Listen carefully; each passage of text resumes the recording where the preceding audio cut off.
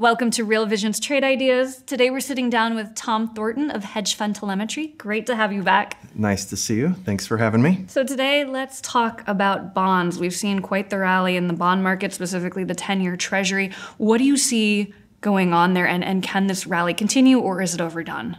Okay, well, let me back up a little. And last October, when the yield was around 320, uh, we had very, very low uh, bullish sentiment. Uh, and we had uh, an upside DeMark sequential countdown, which told us that the trend of higher yields was coming to an end. And we've had a bullish bias all the way down. We pressed uh, the bullish bias when we broke the March lows, which was around 2.36, and we targeted 2, 210, which uh, we've surpassed. And so right now we have a very, very high bullish sentiment reading around 87. We've been in the 90s a little bit. But let me explain. Sentiment is a condition and it can stay, something can stay very bullish or very bearish for a period of time. What you need is a trigger. So we use DeMark indicators, which are trend exhaustion indicators uh, we've talked about before.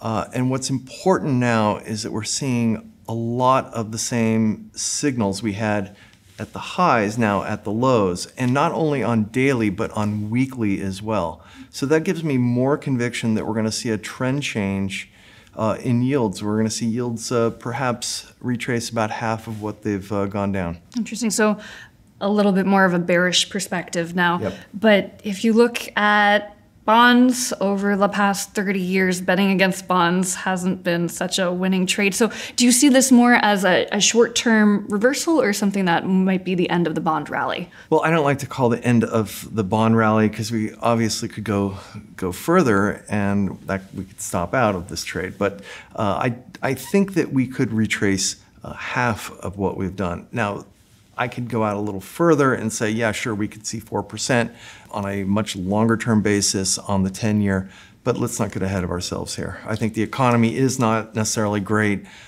but I think bond yields are going to back up. And so, then in terms of the DeMark indicators that you're looking at, at what point do you know you have confirmation that this there will be a reversal? Well, we're starting to see confirmations happening right now. Uh, we have several ETFs that are showing uh, very well known ETFs like IEF and TLT are showing uh, exhaustion signals. We have the 10 year treasuries as well the 10 year yield all doing it together. And like I said, we have the weekly on the 10 year um, holding the 2%, which is exactly where it was in 2017, right before they took off. So, how would you recommend going about trading this? Well, obviously, you could short uh, treasuries here uh, with futures, or you could short the TLT, IEF. Uh, again, I like a little longer term duration. Uh, I don't necessarily want to say let's get shorting the start shorting the two year or five year, but I think a little further um, out on the curve, uh, you have a better bet. You can also buy put spreads on those uh, ETFs. Uh, I would like to say go out to August. You get the Fed meeting on July 31st. Uh, buy a put spread using a 35 delta and 10 delta. So you buy the 35 and you sell the 10. Okay. And then in terms of TLT or other ETFs, are there specific levels that you're looking at there? Well, I think on the TLT, I think you're going to probably see a little bit of support around 125 and it's around 132 now. So you have some downside potential there. And uh, that, so I'm, I'm, not saying we're going to, you know, this is the end of the bull market uh, for bonds, but uh, I think that's a reasonable bet. What do you see as the biggest potential risk to this trade? The biggest risk is that the Fed cuts 50 basis points in July. Earnings are terrible. Economic reports come out even worse. And I think that's all very possible. However, what if they're not as bad? What if the China tariffs, there's a thaw this weekend uh, at the G20?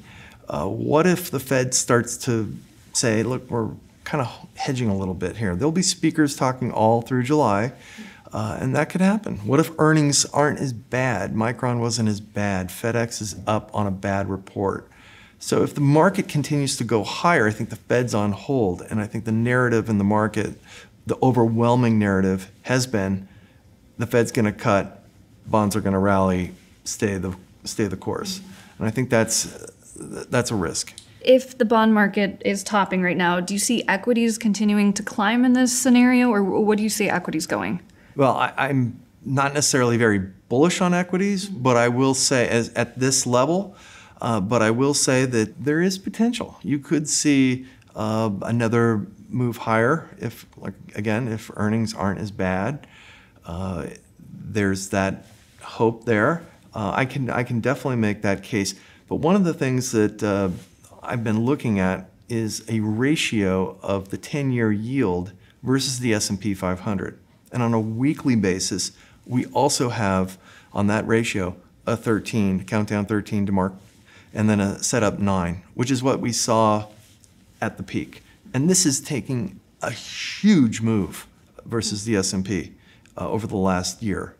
And so I think there's mean reversion there as well. So that just gives me more confidence that this trade will work. Interesting. So you see equities, or specifically the S&P 500, potentially outperforming. Absolutely. So then could a, another potential trade be going long equities and short bonds, or is that a little bit too risky to dip your toes into? I, I have no problem with that. Okay. Um, I, just because of that ratio. I think the, the pair trade will work. Um, again, if it stops out, so be it. You move on. All right. Can you break down your thesis on bonds in 30 seconds? Yep. We have very, very high, extreme sentiment in the bond market. We have downside exhaustion signals in the 10 year yield and upside exhaustion signals in the 10 year futures. Uh, we also see it in the long bond futures uh, and the ETFs as well. So when I see that confluence of indicators combined with um, the sentiment condition, and you've got the trigger with the DeMark indicators, uh, I think you have a, a trade to short bonds. Great. Tom, thank you so much for joining us. Thanks for having me. So, Tom is bearish on bonds. Specifically, he's interested in put spreads and recommends buying the August 35 Delta and selling the August 10 Delta on both of the Treasury ETFs, TLT and IEF. Just remember, this is a trade idea and not investment advice. You should do your own research, consider your risk tolerance, and invest accordingly. For Real Vision, I'm Justine Underhill.